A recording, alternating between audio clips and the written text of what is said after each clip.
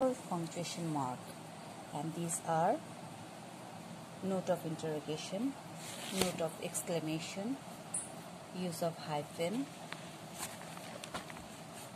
use of apostrophe, use of brackets. So hope all of you are ready. প্রিয় শিক্ষার্থীরা আশা করি তোমরা সবাই তোমাদের খাতা কলম নিয়ে তৈরি হয়েছ আজকের আরও নতুন কিছু পাংচুয়েশন সম্পর্কে জেনে নিতে এবং এর ইউজগুলো দেখতে। প্রথমে আসা যাক নোট অফ ইন্টারোগেশন এটা আমরা কখন ইউজ করি?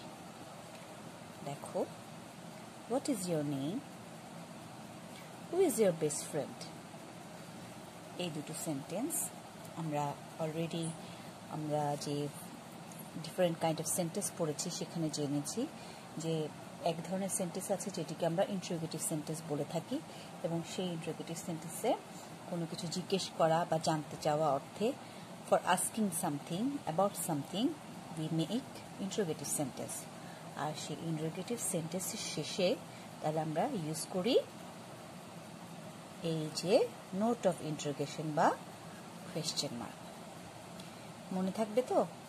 তাহলে যে কোনো কোয়েশ্চেন যখন আমরা করব, সেই ধরনের সেন্টেন্সের শেষে at the end of the sentence we will use question mark question mark so এরকম অনেক অনেক সেন্টেন্স হাজার হাজার সেন্টেন্স তৈরি করা যায়।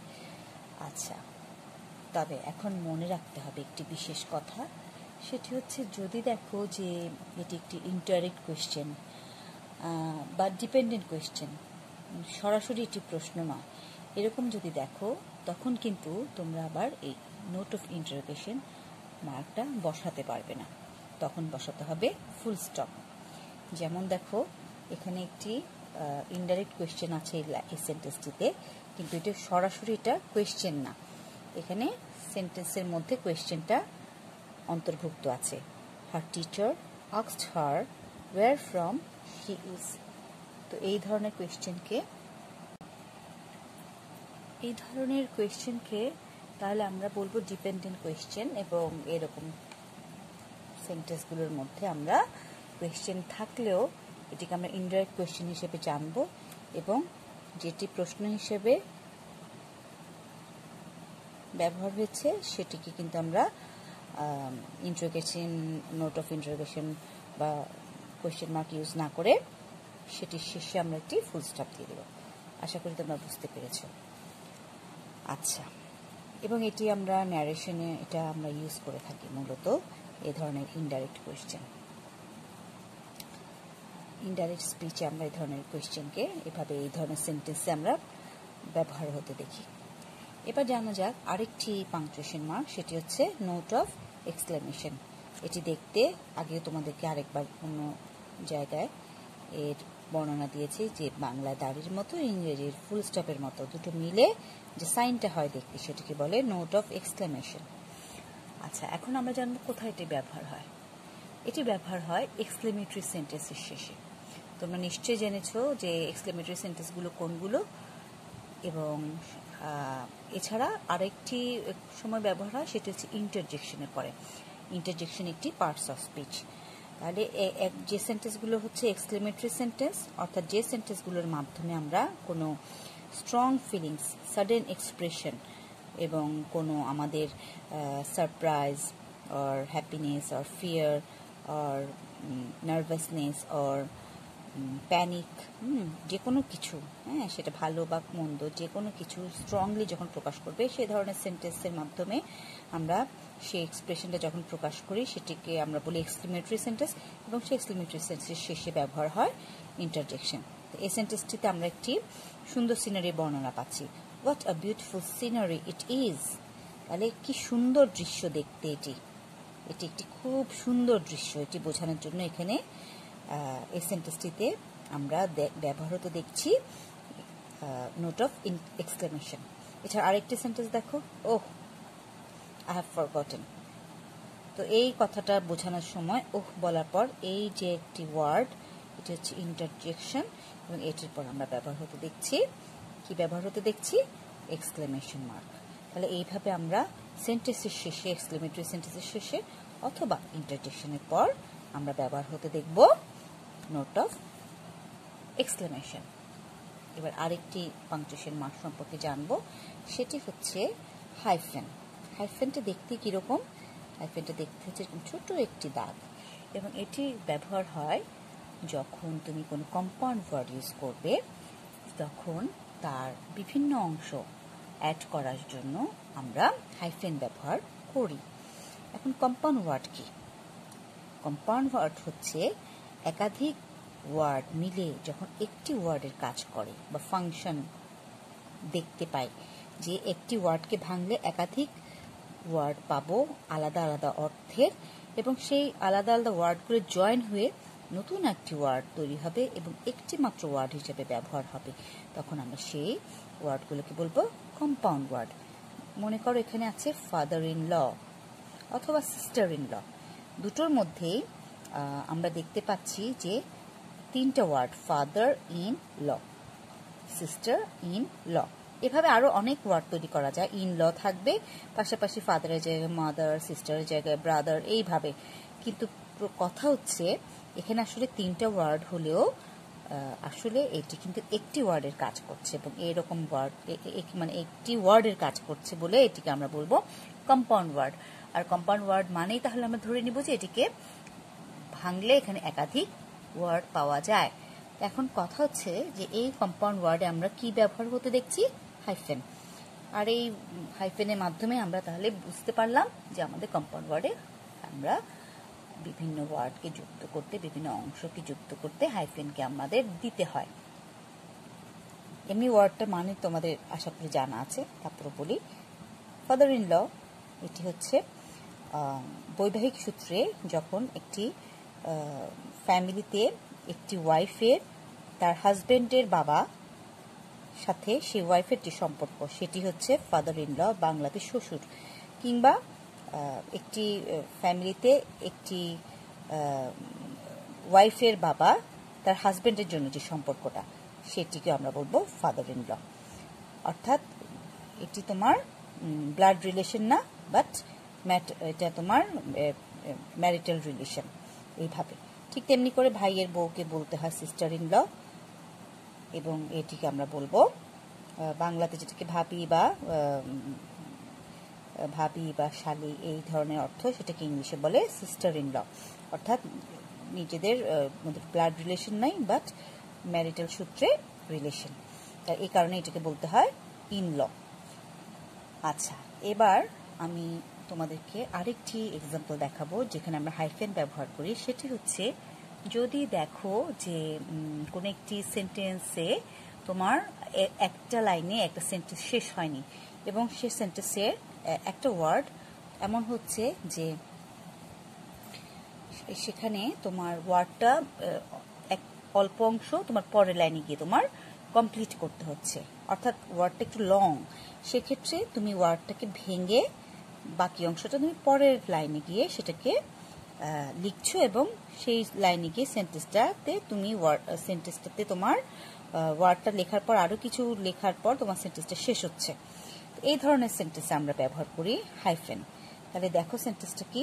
Long long ago there lived আ বিউ বিউর পর, দেখো এখানে একটা হাইফেন এবং এখানেও হাইফেন দেওয়া হচ্ছে। Beautiful beautiful girl in a village তাহলে অনেক অনেক দিন আগে একটা খুব সুন্দরী মেয়ে এক গ্রামে বাস করত। তাহলে দেখো, কারণ বিউ এখানে লিখে টিউটিফুল এখানে লিখলাম। তাহলে এই যে বিউটিফুল আসলে বিউটিফুলে আসলে কি আছে দেখো, আমি এখানে তোমাদেরকে আলাদা করে লিখে দেখাচ্ছি। বিউটিফুল এখানে কিন্তু তিনটা সিলেবল আর তিনটা সিলেবলের মধ্যে একটা সিলেবল রয়ে গেছে এখানে, এবং বাকি দুইটা রয়ে গেছে পরের লাইনে তাহলে এই যে একটা ওয়ার্ড এই ওয়ার্ডকে ভাঙলে তিনটা সিলেবেল কিন্তু আমি তার মধ্যে একটা সিলেবেল প্রথম লাইনে এবং বাকি দুটো সিলেবেল পরের লাইনে দিলাম। এটা কিন্তু আমি বোঝাচ্ছি কিন্তু একটা ওয়ার্ড সম্পূর্ণ মিলে একটা ওয়ার্ড তো এই যে একটা ওয়ার্ডকে আমি একসাথে লিখতে পারিনি, আমি দুই ভাগে লিখলাম। এই দুই ভাগটা মিলে আসলে একটি ওয়ার্ড মিন করছে। কিন্তু এটা যে একটি ওয়ার্ড মিন করছে, সেটি বোঝার উপায় হচ্ছে কি? এই যে এই হাইফেন আশা করি তোমরা বুঝতে পারছ আমার এই কথাটা। তাহলে হাইফেনের ব্যবহার আমরা একাধিক কারণে ব্যবহার করি। একটা কম্পাউন্ড ওয়ার্ডে অথবা একটা ওয়ার্ডকে যখন আমি ভেঙে দুটো বা দুটো লাইনে লিখছি বা একসাথে লিখতে পারছি না, তখন আমরা সেটিকে বাকি অংশকে আমরা আলাদা করে লেখার সময় এখানে হাইফেনটাকে আমরা মেনশন করি। এবার দেখা যাক আরেকটি পাংচুয়েশন সেটির নাম হচ্ছে কি? অ্যাপোস্ট্রপি তোমরা এর আগে কমা সম্পর্কে জেনেছ। ক্ষমা দেখতে যেরকম অ্যাপোস্ট্রপি দেখতে এক্স্যাক্টলি সেরকম। তবে কথা হচ্ছে অ্যাপোস্ট্রপিটা কমার মতো। ওয়ার্ডের পরে ব্যবহার হলেও এটি নিচের দিকে ব্যবহার হয় না। অর্থাৎ অর্থাৎ এটা তোমার ব্যবহার হয় কোথায়? এটি তোমার ব্যবহার হয় ওয়ার্ডের উপরিভাগে। তো আমি সেন্টেন্সে তোমাকে করে দেখাচ্ছি। ইট ইজ মিনাস কার্টন এখানে দেখো, এই যে চিহ্নটা, এই যে চিহ্নটা, এটি হচ্ছে অ্যাপোস্ট্রপি। আর এইখানে অ্যাপোস্ট্রপি ব্যবহার হয়েছে পজিটিভ কেস বোঝাতে। পজিটিভ মানে হচ্ছে কোনো কিছু কারোর অধিকার বোঝানোর জন্য আমরা যে কথাটা বলে থাকি, যেমন আমি, আই, আমার, মাই। তাহলে মাই হচ্ছে একটি পজিটিভ প্রোনাউন ঠিক তেমনি করে পজিটিভে তোমার কোন নামের পর যখন তুমি পজিটিভ বোঝাবা, তখন তুমি সেই পজিটিভের পর একটি অ্যাপোস্ট্রপি ব্যবহার করে তুমি পজিটিভ কেস ইন্ডিকেট করতে পারো। এরকম এরকম আমরা আমাদের অসংখ্য সেন্টেন্সে আমরা এরকম পজিটিভ কেসে আমরা এরকম অ্যাপোস্ট্রপি ব্যবহার করে থাকি। এখানে একটি খুব পরিচিত একটি তোমাদের লাইন একটি ওয়ার্ড তোমাদেরকে আমি এখন দেখাচ্ছি। ইট ইজ মিনাস কার্টুন অর্থাৎ এটি মিনার কার্টুন মিনার কার্টুন বোঝাতে মিনাস বোঝানো হচ্ছে। আচ্ছা তাহলে পজিটিভ কেসে আমরা অ্যাপোস্ট্রপি ব্যবহার করে থাকি। আরেকটি ব্যবহার হচ্ছে, যদি দেখো যে কখনো সেন্টেন্সে তুমি দুটো ওয়ার্ড জয়েন করে একটি ওয়ার্ড হিসেবে ইউজ করছ, সেক্ষেত্রে সে দুটো ওয়ার্ড থেকে যখন একটি ওয়ার্ড হয়ে যাবে, সেখানে কোনো লেটার সেখানে আমাদের বাদ দিতে হবে এবং সে লেটারকে আমরা ওমিট করতে গিয়ে আমরা সেখানে একটা অ্যাপোস্ট্রপি ব্যবহার করব। যেমন এখানে একটি সেন্টেন্স দেখো ইট ইজ রেইনিং এটা আসলে আমি বলব এভাবে ইটস রেইন ইটস ইটস এটা আসলে ইট ইজ কে ইন্ডিকেট করছে। যেটা আমি বলছি কি ইটস রেইনিং এবং এটা বলার সময় আমি একটু দ্রুত বলছি এবং এখানে অ্যাপোস্ট্রপি লেখার সময় ব্যবহার করছি।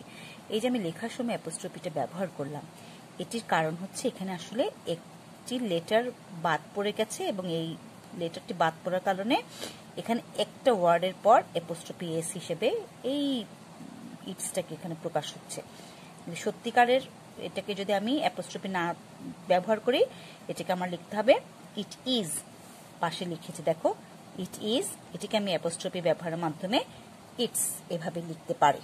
তাহলে এই যে ব্যবহারটা, এখানে আমার তাহলে একটি শব্দের একটা অক্ষর বাদ দিলাম এবং সে জায়গায় আমি অ্যাপোস্ট্রপি ব্যবহার করে দুটো শব্দকে একটি শব্দে একটি শব্দে আমি পরিণত করলাম। এই রকম ভাবে আমরা অ্যাপোস্ট্রপি ব্যবহার করে থাকি। তোমাদেরকে আমি আলাদা একটি চার্ট আমি তোমাদেরকে ভিডিওতে দেখাবো ভিডিওর সাথে দিয়ে দেব। তোমরা সেই চার্টটা একটু মনোযোগ দিয়ে পড়ে নিও। সেখানে অনেক অ্যাপোস্ট্রপির মাধ্যমে অনেক ভার্ব এবং প্রোনাউন একসাথে জয়েন হতে বা অনেক, অনেকগুলো ওয়ার্ডকে তোমরা দুটো ওয়ার্ড থেকে একটি ওয়ার্ড এইভাবে ব্যবহার হতে দেখবে। এবং তোমরা তখন সেটা মনোযোগ দিয়ে পড়ে সেগুলো শিখে নেবে। আচ্ছা লাস্ট এবার আমি আরেকটা পাংচুয়েশন তোমাদের সাথে পরিচয় করিয়ে দেবো। সেটি হচ্ছে ইউজ অফ ব্র্যাকেটস এবং ব্র্যাকেটস দেখতে এতক্ষণ আমি অনেকগুলো পাংচুয়েশন মার্কে বোঝানোর জন্য ব্র্যাকেটস অলরেডি ব্যবহার করে আসছি। তো এখন আমি সেটিকেই আলাদা করে দেখালাম। এটি হচ্ছে ব্র্যাকেটস ব্র্যাকেটস আরও অনেক ধরনের হয়। তো এই ব্র্যাকেটস আমরা কোথায় ব্যবহার করি? এই ব্র্যাকেটস আমরা ব্যবহার করি কোনো কিছু ব্যাখ্যা করতে বা প্যারেন্থেসিস বোঝাতে আমরা ব্র্যাকেট ব্যবহার করতে পারি। সেটা ব্যবহার করার সময় আমার সেন্টেন্সটাতে আমার সে ব্র্যাকেটের ব্যবহারটা কীরকম হতে পারে? এখন চলো দেখি। রিমা আস Sima where she was working Rima আস সীমা, এখানে দুটো নাম আছে। এবং দুটোই হচ্ছে তোমার তোমার ফ্যামিনিন জেন্ডার এবং এখানে ফ্যামিনিন জেন্ডারের জন্য এখানে আমার যে প্রোনাউনটা ইউজ হয়েছে সেটা হচ্ছে feminine Rima Asima where she was working এখন এই শিটা যে কোনো একটি প্রোনাউন যে কোনো একটি নাউনকে ইন্ডিকেট করছে। এখন আমাদের বুঝে নিতে হবে যে এই প্রোনাউনটা কাকে ইন্ডিকেট করছে? রিমাকে নাকি সীমাকে? রিমা আস Sima where she was working তাহলে রিমা যেহেতু সীমাকে জিজ্ঞেস করছে, তাহলে এখানে আমাদের বুঝে নিতে হবে যে ওয়ার শি কোথায় সে কাজ করছে। তাহলে সে, এই সেটা আসলে কাকে ইন্ডিকেট করছে? রিমা যেহেতু জিজ্ঞেস করছে, সুতরাং যাকে জিজ্ঞেস করছে তার কথা এখানে বোঝানো হচ্ছে। সে কে? সীমা। তারপর আমার বোঝার সুবিধার জন্য আমি সীমা স্টার্স উইথ এস আমি এস এখানে মেনশন করলাম এবং এই S stand for Sima. S indicates Sima. এইভাবে আমি আমার ব্র্যাকেটের মাধ্যমে আমি সীমাকে ইন্ডিকেট করার জন্য এস লিখে আমি কিন্তু সেন্টেন্সটাকে অনেক সহজবোধ্য করার একটা ব্যবস্থা করেছি বা এভাবে আমরা করতে পারি। আচ্ছা আরেকটি কাজ করতে পারি যে আমরা আরেকটি সেন্টেন্স দেখাচ্ছি যেখানে আমরা ব্র্যাকেটে ব্যবহার দেখছি, যেখানে আমি ব্যাখ্যা করার জন্য আমি ব্র্যাকেটে কিছু ইনফরমেশন দিচ্ছি, কিন্তু সেটা আমি সেন্টেন্সে দিচ্ছি না। যেমন I have read all I have read all ব্র্যাকেটে দিলাম the stories in the book I have read all এখানে আমি সেন্টেন্সটার বাকি অংশটা ব্র্যাকেটে দিয়েছি, কিন্তু আমি আই হ্যাভ রেড অল বলার মাধ্যমে আমি আমার সব কথাগুলোকে কিন্তু আমি, আমার সেন্টেন্সে আমি নিয়ে আসছি, এবং এখানে আমার সেন্টেন্সটা হয়ে গেছে। কিন্তু তারপর আমি ব্যাখ্যা করার জন্য বোঝার সুবিধার জন্য ব্র্যাকেটে দিলাম the stories in the book তাহলে I have read all the stories in the book আমি পুরো কথাটা না বলে আই হ্যাভ রেড অল বোঝালে আমি কিন্তু আসলে স্টোরিজগুলোকে বোঝাচ্ছি বুকের স্টোরিজগুলোকেই যে আমার পড়া শেষ হয়েছে এটা বোঝাচ্ছি। এবং এটা বোঝানোর জন্য আমি ব্র্যাকেটে কথাটা দিয়ে আমি আমার কথাটাকে আমি বলে দিলাম আই হ্যাভ রেড অল এইভাবে আমি ব্যাখ্যা করার জন্য আমি আমার কথাটাকে ব্র্যাকেটে দিয়ে আমি আমার সেন্টেন্সটাকে প্রেজেন্ট করতে পারি। এবং এভাবে আমরা ব্র্যাকেটের ফাংশনটাকে আমরা কাজে লাগাতে পারি। সো ডিয়ার লার্নার্স আমি আশা করব আমি একে একে তোমাদেরকে বেশ কয়েকটি ভিডিওতে ভেঙে ভেঙে ভাগ ভাগ করে বিভিন্ন ধরনের পাংচুয়েশন সম্পর্কে যে পরিচিতিটা করিয়েছি, সেগুলো তোমরা যদি একসাথে কালেক্ট করে রাখো জয়েন করে রাখো, এবং তোমরা এগুলো প্রত্যেকটি পাংচুয়েশনের ফাংশনগুলোকে মনে রেখে তোমরা পাংচুয়েশন মার্কে তোমাদের এই বিভিন্ন পাংচুয়েশন মার্কগুলোকে কারেক্টলি অ্যাপ্লাই করো। আমার মনে হয় তাহলে তোমাদের প্রত্যেকটা সেন্টেন্সই তোমরা সুন্দরভাবে প্রেজেন্ট করতে পারবে এবং অ্যাকর্ডিং টু পাংচুয়েশন মার্ক তোমরা সেন্টেন্সটাকে মিনিংফুল করে প্লেস করতে পারবে বা প্রেজেন্ট করতে পারবে। সো তোমাদের কাছে আমার এই প্রত্যাশা রইল যে তোমরা এগুলো অনেক বেশি বেশি প্র্যাকটিস করবে এবং ওয়াইল রিডিং তোমরা পাংচুয়েশন মার্কগুলোর যেগুলো করে দেওয়া থাকে বা বিভিন্ন সেন্টেন্সে বা প্যাসেজে পাংচুয়েশন মার্কগুলো তোমরা দেখে থাকো, সেগুলোর অ্যাপ্লিকেশনগুলো মনোযোগ দিয়ে লক্ষ্য করবে এবং পড়তে পড়তেই বিভিন্ন ধরনের মা, মানুষের মার্কগুলোকে আরও ভালোভাবে আয়ত্ত করবে এবং নির্ভুলভাবে যখন তোমরা কোনো অ্যাক্টিভিটিতে পাংচুয়েশন মার্ক অ্যাপ্লাই করার প্রয়োজন হবে, তখন সুন্দরভাবে সেগুলোকে অ্যাপ্লাই করতে পারবে। তাহলে আজ এটুকুই। সবাইকে অনেক ধন্যবাদ।